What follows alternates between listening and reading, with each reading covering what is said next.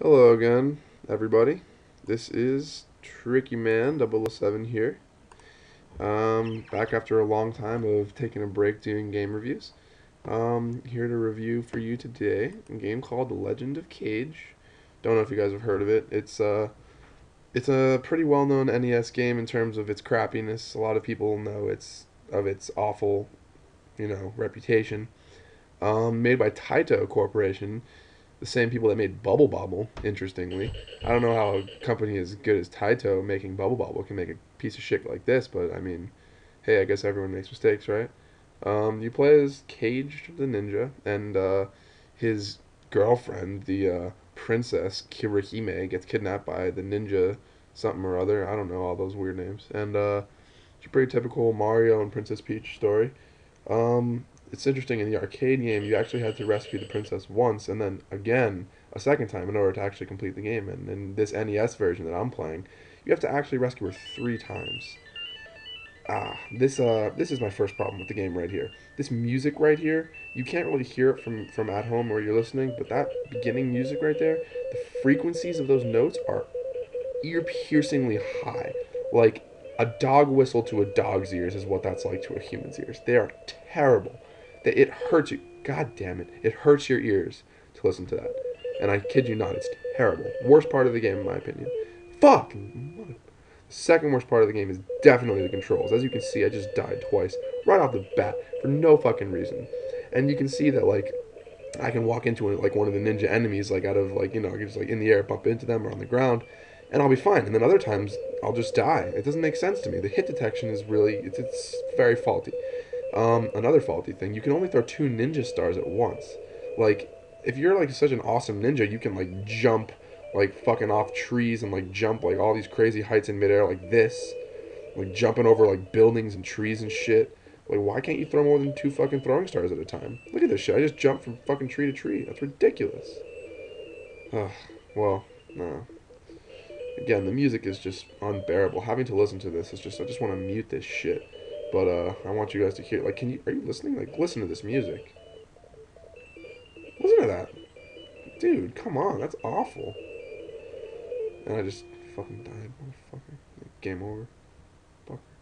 Uh, I'm gonna play one more to show you guys some other things I um, have problems with. Um, another thing that's um very annoying. Oh Jesus, this again. Look at that, a flying ninja. Yeah, that's that's cool. That's real. Fucking stupid shit. Oh, another. God damn it. God damn it. Fuck. Another thing that's pretty annoying is the, uh, the little sword that you have. A little ninja sword. You see me flailing around there. It looks like a stupid sausage or something. That's that's your sword. Your sword. Your ninja sword. Basically, your sword is useless in this game. You can pretty much only use your your little throwing stars to do any damage. And unfortunately, can only use you know two of them at a time, and aiming them is harder than fucking I don't know trying to pee in a toilet when you're super hammered. It's it's literally impossible. And uh, I don't know, There's some shit about this game that really fucking makes no sense at all. I'm trying to find a power up here, but game is, just makes it so hard to just do anything. I'm trying to find a power up and show you something, but uh. Yeah, just look how high your ninja jumps. Like that's not normal, yo.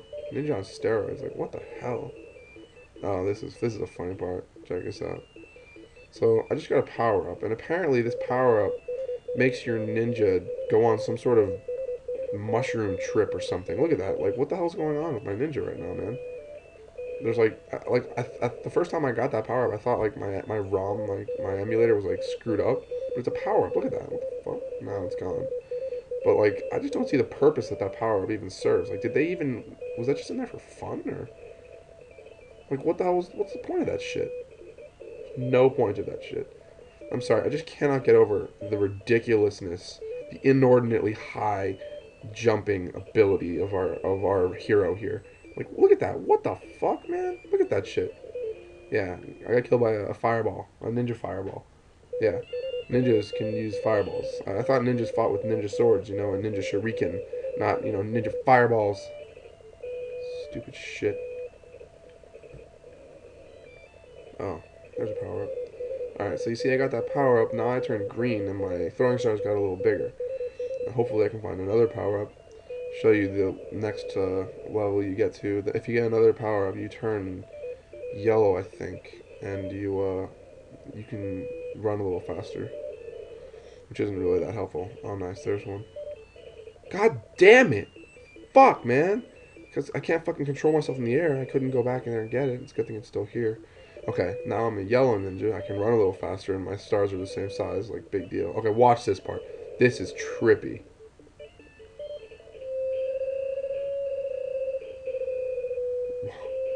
What?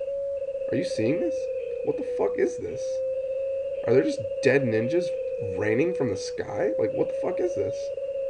It's gotta be the weirdest thing I've ever seen in a video game. Whose idea was this? Seriously. And then it just goes back to normal, like nothing. Was that, did that even just happen? Like, what the fuck was that? This game is just, ridiculous. Another power up. Too bad I can't get it because the controls in this game suck. Fuck. God damn. Whatever. Game over. Fucker. Anyways. That's the Legend of Kage for you. It's a bad game. Do not play it.